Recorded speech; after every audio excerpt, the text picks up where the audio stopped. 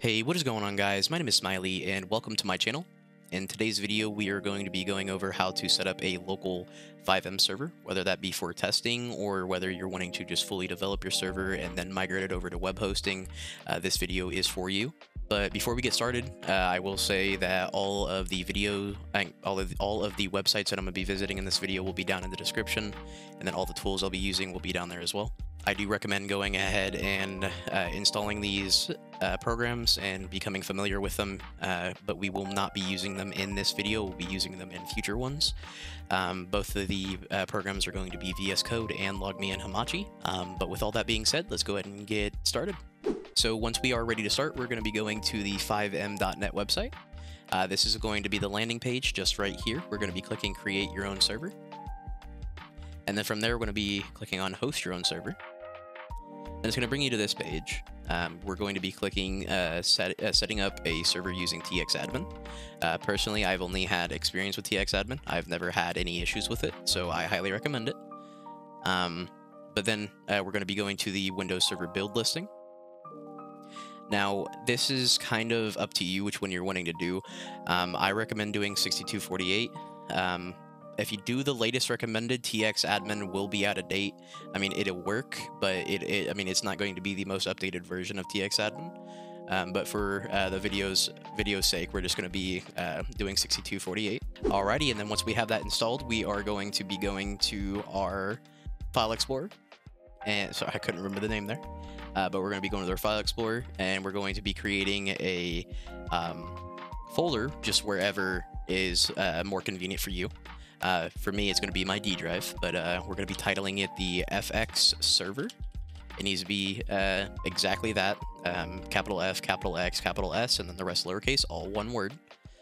Um, and then we are going to be take, uh, going, going ahead and opening uh, the uh, build that we just installed. I'm going to go ahead and Control A, Control C. It's going to copy it all. You can also just drag it in if it'd be a little bit easier for you. But I'm going to go ahead and Control V in my FX server. Alrighty, and once that's done, we are going to be locating the fxserver.exe.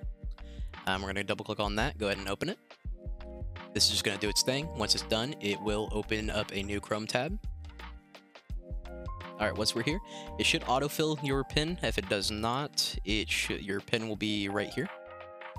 Uh, yours is obviously going to be different than mine, but we're going to go ahead and link the account. And it's going to ask you to sign in with CR, uh, cfx.re. If you don't have an account, you can easily create one. It takes like maybe two minutes. We're going to go ahead and click continue. It's going to have you uh, re-put in your password. Let me go ahead and do that real quick. And then go ahead and create master account. Oh, whoops, if I could enter in my password correctly. All right, and then log in once we're here, it's just going to be step by step, pretty easy. We're going to click next. We're going to change our server name to whatever we want it to be. For the video sake, we're just going to do uh, test YouTube. And then uh, popular recipes. And since we're using TXAdmin uh, and hosting it on our local machine, we're just going to do the CFX default. And then uh, you might want to change this just depending on like where you want, want it to be exactly. Um, my D drive is perfect for me, so I'm just going to go ahead and do that and then go to recipe deployer. We're gonna click on that. This right here really isn't all that important just right just yet, but uh, we're just gonna go ahead and click next. And then this license key part, we are going to be going to uh, keymaster.fivem.net. It will have you log in with cfx.re, um, but you at this point you should already have an account. But we're to go ahead and click new server. And then we are going to title it whatever the server name is. There you go then the initial server IP. We're going to put in whatever our, our IP is. Um, you can find that by just typing in Google, what's my IP? I'm going to have mine blurred out just because I don't want to have everybody know what my personal IP is. And then for server type, we're going to be clicking VPS. And then which server provider are you using? We're going to do Zap Hosting. Now, even though that we are hosting it locally, uh, we want to go ahead and say we're using using like Zap Hosting or another popular uh, hosting service. Um, the reason for this is if you put other and then myself as the service provider, um, it, there is a chance that you, if you aren't active on your server, you're not uh, starting the server, joining or changing things. If you're not doing that and you just leave it dormant for a while, um, there is a chance that your server uh, will uh, your your server key will be recycled and then the server will be trashed. Um, so we just want to go ahead and do VPS and then Zap hosting, and then do the CAPTCHA and then generate. And then once we've done that, let me go ahead and find, oh, you've exceeded your key limit. Okay, um, let me just do this. Let me trash one of these. New server, test YouTube 1, initial IP, VPS, and then we're to do Zap hosting again, and then I'm not a robot. And we're going to go ahead and generate the key.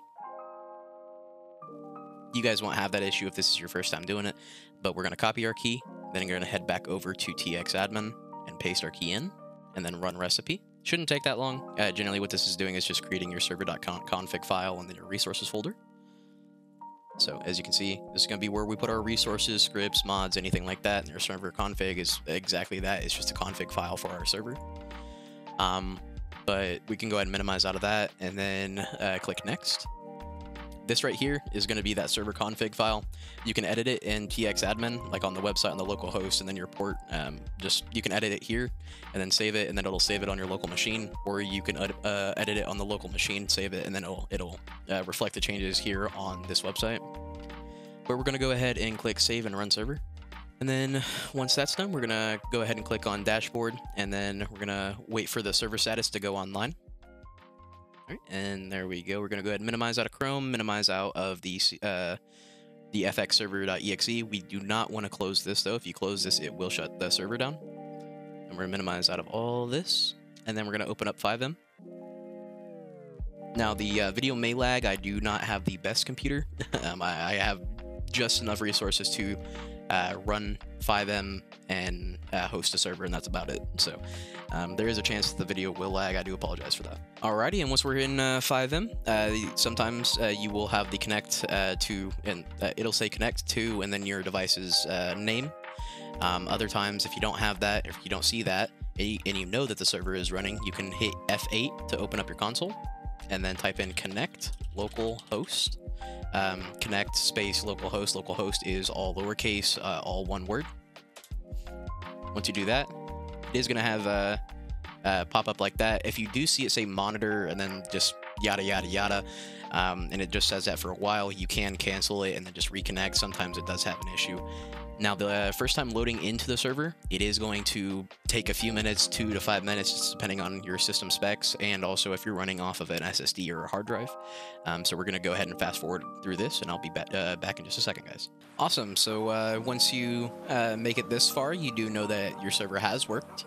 Um, I will go ahead and say that uh, now that we are in the server, um, you need to understand that this is like the base game of GTA 5. There is no infrastructure to it. So if I hit escape and I go to my map, as you can see, there are no blips on the map whatsoever. This is completely um, completely empty for uh, like for you to customize exactly how you want it. So, and the way you do that is you would install scripts or mods or anything like that, and we'll cover that in future videos. But um, the only thing that the server does have on it is going to be uh, the one thing that the server is going to have on it um, is your TX admin um, console menu. Go ahead and close out of my console. Um, you can do that by just tapping, typing in slash tx in the uh, chat box. For some reason, mine isn't working. I'll have to figure out what's causing that issue in the future. You guys should not have that issue. Um, but you do have this uh, little menu um, where you can uh, no clip, turn on God mode, super jump, uh, set your character back to normal. Um, you can teleport, uh, spawn in any vehicle. We're going to go ahead and do that. Just to show you that it does work. Um, but uh, you also have an option to heal yourself or everyone on the server, send an announcement. Hello, there we go. Um, and then reset the world area and then toggle player IDs. Toggling player IDs will show your Steam name and then the ID that the server has assigned you. If you hit tab, you can change over to uh, view all of the players in one giant thing. Um, Then if we hit tab again, it does open up your TX admin, uh, like console, dashboard, server config, resources, all of that. Um, you'll be able to access it here. Um, and we'll cover this a little bit more in depth in, in, a, in a future video. Um, but if you just want to get in here, mess around, no clip, no clip around the, the server and all that, the next service we're going to be covering how to use uh, LogMeIn Hamachi to allow other uh, people, friends that you might have uh, that want to test out the server with you. Um, we'll be covering how to let them join your server um, without using a hosting service or without port forwarding. Um, it's, it's, a pretty easy process. It will be a real, short one. Um, but with all that being said, if you guys did enjoy the video, if you got value out of the video, I would really appreciate a like. And then if you want to um, stay tuned to the future, uh, future videos that I'll release on uh, building this server uh, to exactly how you'd like it to be. Um, you can turn always subscribe and then turn on uh, post notifications through there. Um, but with that being said, you guys have a great rest of your day.